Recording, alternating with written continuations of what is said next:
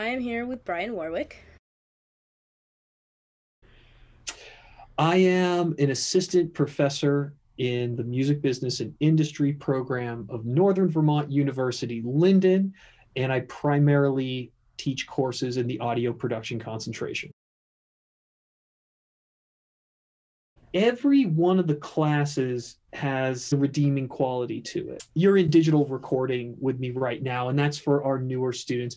And I think the thing that kind of gets me up in the morning for for that course is that you guys are so new to it and there's like a lot of like energy and the creativeness that's kind of coming through that class. Every time I walk in there, there's just like, there's always a lot of questions. There's always just like this need for information. So I absolutely love that. Intro to audio engineering, we get to get really deep into our recording studio that's on the Lyndon campus. That's always really entertaining because we're talking about different microphones, microphone techniques, hybrid mixing, which is a, a multi track mixing course that's really where we get to like grind down and like talk about mixing concepts that aren't necessarily going to be on YouTube. And, and and sometimes we go back and forth and we're like, okay, what is this person talking about mixing well? Is that appropriate for this situation? It's a really great way to get the students like really, really comfortable in their own skin and open up their ears and start hearing things in a whole new way. Uh, recording and post production, it's the first time the students are going to be synchronizing audio with video. So that could be used for commercials, movies, films, video games, television, streaming. So there's just a whole new set of terminology that they learn, a whole new way of being creative. And then advanced audio is is the capstone project. And it really is like the culmination of everything a student has learned in the four years of being at northern vermont university lyndon they get to do a project that they're passionate about. They get to pursue an artist that they're passionate about and they get to record their music. Or this is an opportunity for the student who might also be an artist to really focus in on their music and create a really professional recording. So yeah that's that's that's a tough question. Each each course just has these really special moments that that i look forward to every every semester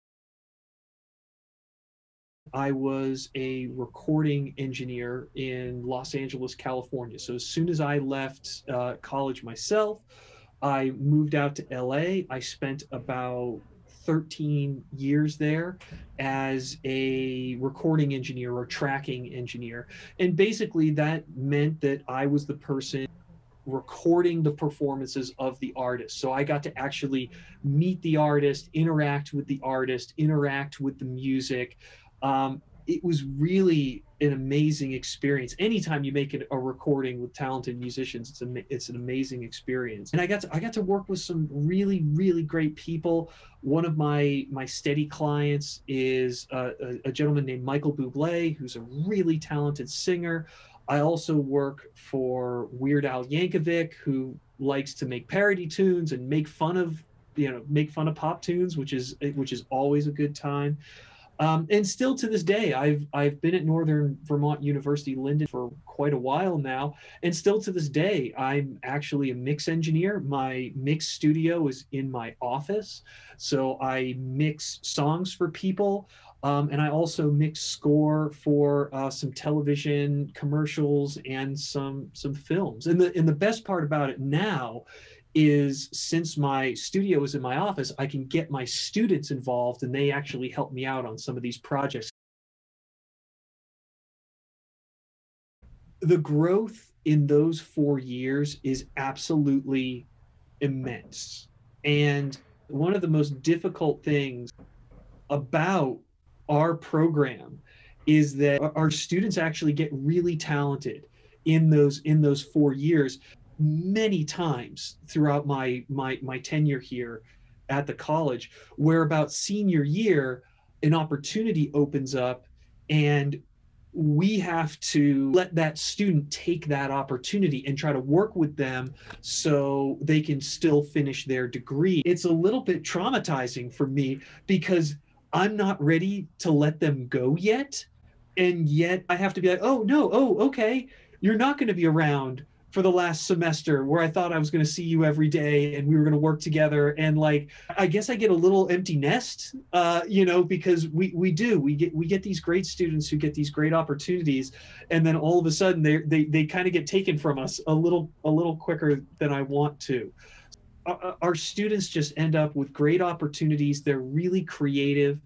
Um, we have students working on tour with acts. We have students doing live sound support. We have students working at recording studios. Um, we have students doing uh, massive audio visual installations. I mean, it really runs the gamut when you talk about like the students post graduation and and what they're going to do and i think the the most important thing for me is just trying to make sure that they're going into a field where they will thrive. And that's and that's that's that's kind of my goal is kind of talk them through it and be like okay where can you thrive? Where can you be comfortable? Where can you be successful? So when i finished college i got a i got a phone call from a friend and they had a room in an apartment that was available in Hollywood, California, and they needed a roommate. You could call that an opportunity, just having a little bit of a, a, soft landing out there. I had to hustle for my for my jobs in that city. It was it was tough. I mean, as soon as my car got there, I had this really dodgy car that I that I that I shipped out. As soon as I got uh, got that car, I started driving around to all the recording studios giving my resume. And I mean, you know, there were people who took my resume and basically, you know, threw it in the trash. Um, but I, I, was really fortunate that I got hired at Record Plant Recording Studios. Um, but again, it was that hustle and creating a good resume, good cover letter to to to try to get hired. My friend, uh, who I, I, shared an apartment with for a little while, um, one day he called me up and and he mentioned that there was a job opening at his recording studio and they didn't know who was going to fill it. And then all of a sudden, I was like, "Hey, I will." When it comes to the entertainment industry, I think there's a lot of pressure put on like the big break like that you're going to be like walking down the street and then all of a sudden you're going to get discovered and as an audio engineer that, that just doesn't really happen going to a program like the music business industry program what it's doing is it's setting you up for these small opportunities that are slowly going to work up to that big opportunity. So like you know getting an apartment getting getting you know a first gig at a studio getting another gig at another studio. Notice none of those involved like famous people right? But it put me in the situation to start working with some seriously talented individuals there's a baseline of knowledge about the entertainment industry that is expected of you in your first entry level job leaving college. So it's no longer a business where you can just kind of go in and, and, learn it on your own. I'm sure there are people who still do that, but it's just a really difficult road. And a lot of opportunities might pass that person by because they don't have that experience. So it is really important that a student has a solid baseline of information when it comes to business right? And the and the the second word in music business and industry our program is business right? You need to have a strong acumen to business. But you also need to have that music background. You need to know a little bit about music theory. You need to know about how instruments are played, right? Because that is the thing that we're trying to market. That's what the business is trying to market is that music. So having that strong baseline, I think is the most important thing.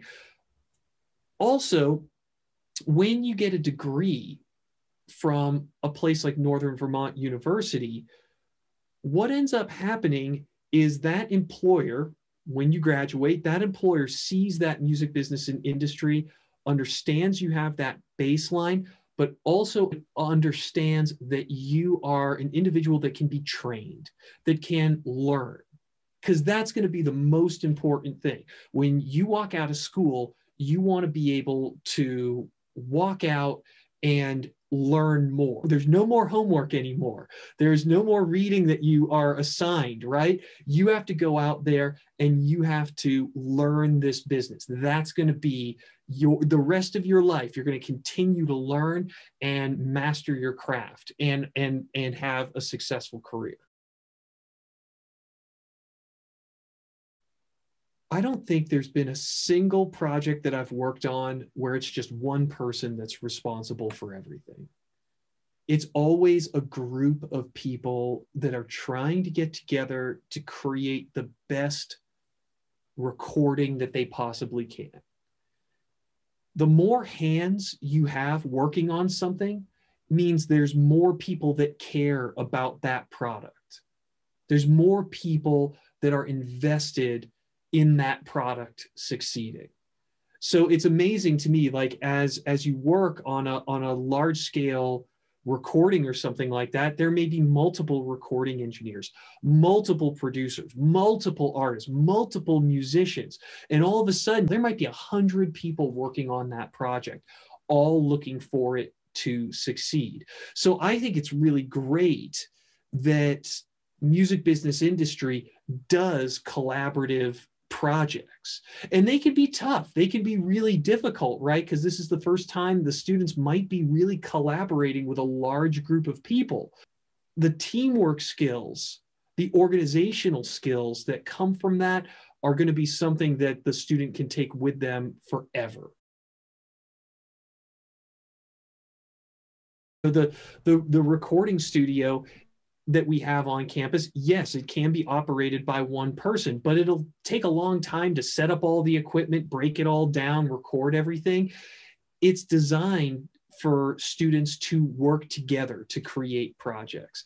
We have the DAW lab, the digital audio workstation lab, that lab has 17 stations in it that all have Pro Tools, Logic, it has speakers in it, it has a recording console in it. It's designed for larger groups of students to be able to get in there, listen to music, and work together.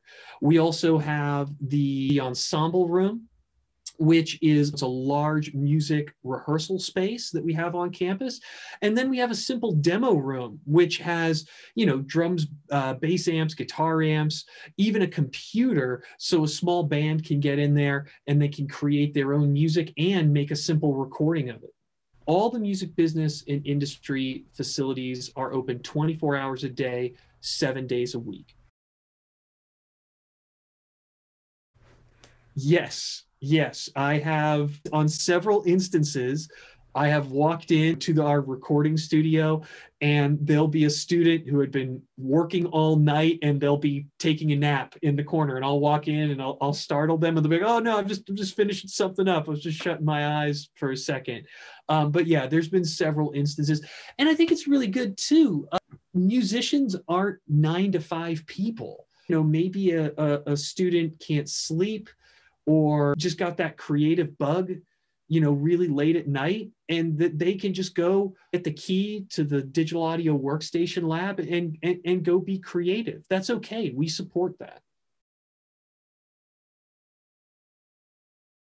The thing to keep in mind is that we look for passionate creative people.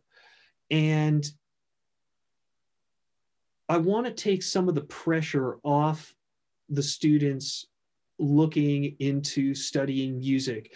One way we do that is that there's no audition to come to Northern Vermont University Lyndon and be in our music business and industry program. We are looking for passionate individuals, individuals that, you know, uh, sing themselves to sleep at night or singing in the shower. Music is is a part of their life. That's what we're looking for and we really do. We we have a wide range of musical talent that's on campus but i i think if music is a part of them if that got taken away if a, if a student feels like they would be missing something in their life without music then studying music business and industry at northern vermont university lyndon is probably a pretty good way to go